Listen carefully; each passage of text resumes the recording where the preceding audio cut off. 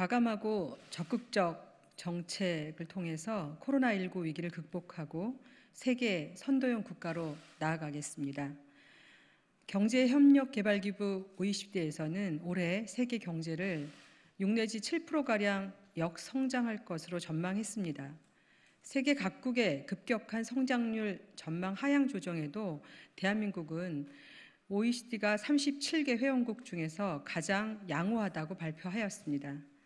대한민국이 코로나19의 충격을 가장 먼저 겪었지만 선제적 방역 조치와 적극적 재정 정책이 효과적이었다고 말합니다. 더불어민주당은 정부와 함께 경기 회복의 불씨를 적극 살리겠습니다. 과감하고 선제적인 정책으로 코로나19의 위기를 기회로 만들겠습니다. 일하는 국회가 되어야 합니다.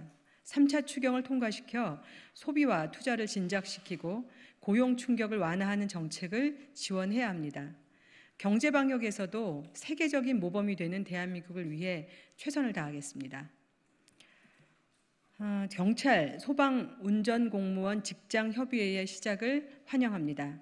오늘부터 경찰, 소방, 운전 공무원의 직장 협의회 설립과 가입을 허용한 공무원 직장 협의회 설립 운영에 관한 법률 개정안이 시행됩니다. 법 제정 후 22년 만에 공무원들과 기관장과의 공식 대화 창구가 생긴 것을 진심으로 환영합니다.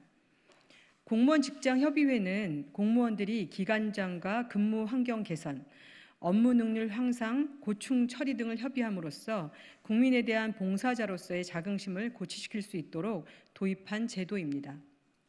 그동안 경찰, 소방, 운전 공무원들의 열악한 처우와 근무 환경에 대한 지적이 많았습니다.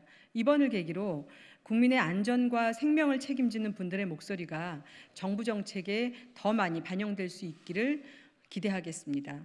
정세균 국무총리께서도 환영의 뜻과 응원의 목소리를 내신 만큼 직장협의회가 실질적으로 기능할 수 있도록 정부의 적극적인 뒷받침을 기대합니다.